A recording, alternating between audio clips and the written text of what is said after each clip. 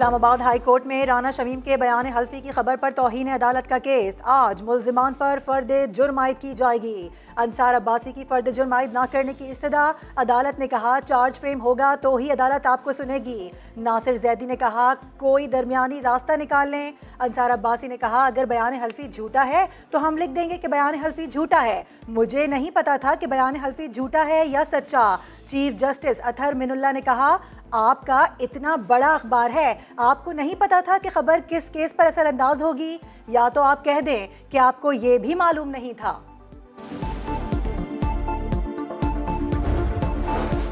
Islamabad high court ने रावल झील के किनारे नेवी सेलिंग क्लब की तामीर गैर कानूनी करार दे दी। नेवी सेलिंग क्लब को तीन हफ्तों में गिराने का हुक्म।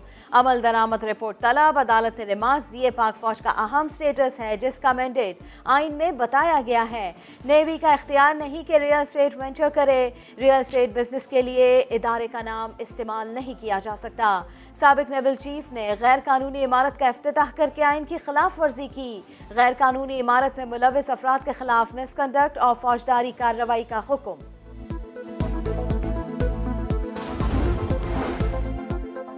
मुल्क में कोरोना की पांचवी लहर में तेज़ी, मजीद एक हज़ार दो सौ तिरानवे अफराद में वायरस की तस्दीक छः मरीज़ जान से गए, मुस्बत केसेस की शरह बढ़ गई। सदर ममलिकत आरिफ अलवी दूसरी बार वायरस से मुतासर। लाहौर में ओमिक्रोन के मजीद इकतीस केसेस सामने आए, कोरोना केसेस की शरह साढ़े पाँच फ़ीसद हो गई। कराची में कोरोना का फैलाव सबसे ज़्यादा। पॉजिटिविटी रेट नौ अशारिया दो तीन फ़ीसद है। वज़ीर सेहत अजरा पेचुहो कहती हैं, अस्पतालों पर बोझ पड़ा तो लॉकडाउन पर मजबूर होंगे।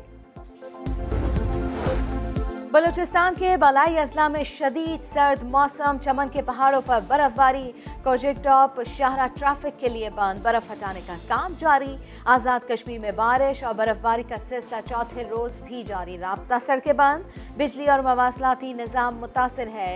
डी जी खान के सियाती मकाम, फोर्ट मनरो में बर्फबारी, सयाह नजारे करने पहुँच गए। कराची में बारिश का एक और स्पेल। शहर में रात भर वक्फे वक्फे से हल्की और तेज बारिश। मुख्तलिफ़ इलाकों में पानी जमा हो गया। सुबह शहरियों को दफातर और बच्चों को स्कूल पहुँचने में मुश्किल सर्दी की शिद्दत बढ़ गई।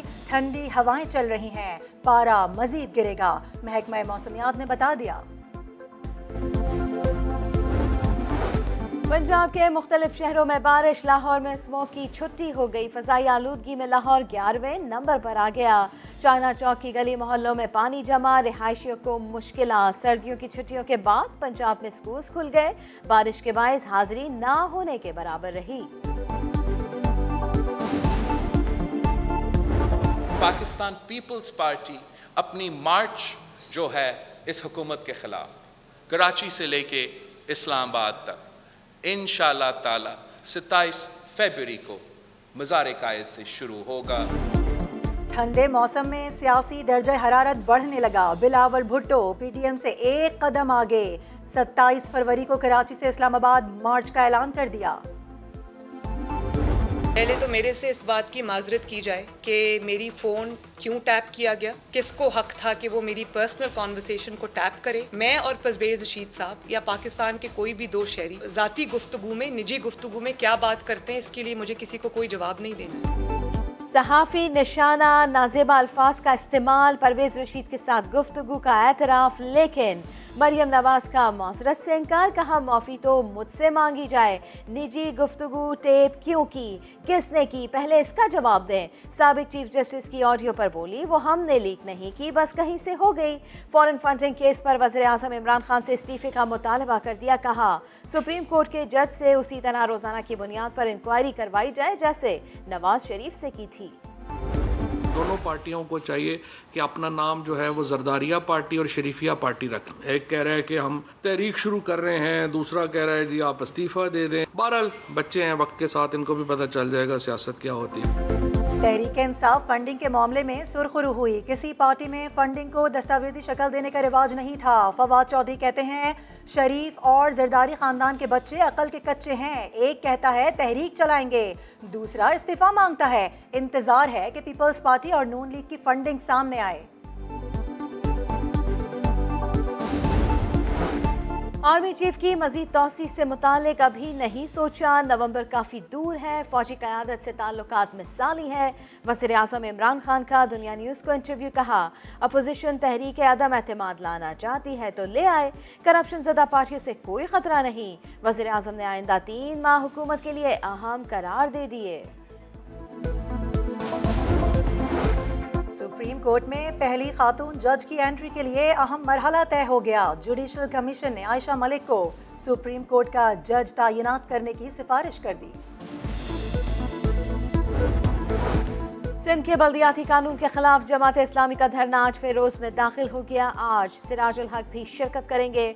हाफिज नईम रहमान कहते हैं, मौसम की सख्तियाँ बर्दाश्त करेंगे, धरना जारी रखेंगे।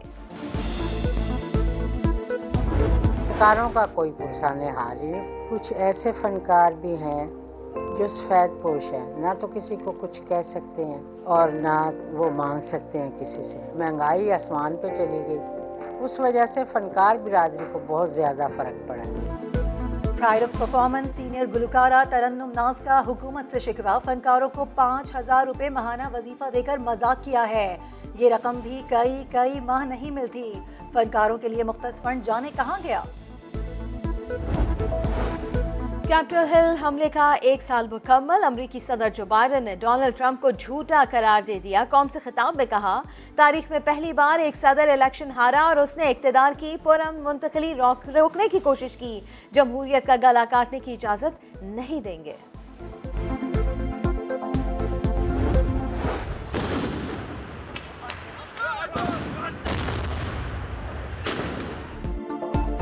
काजकिस्तान में रूसी दस्ते पहुँचने के बावजूद मुजाहरे थम न सके अलमाते में। मुजाहरीन ने गाड़ियाँ जला दी।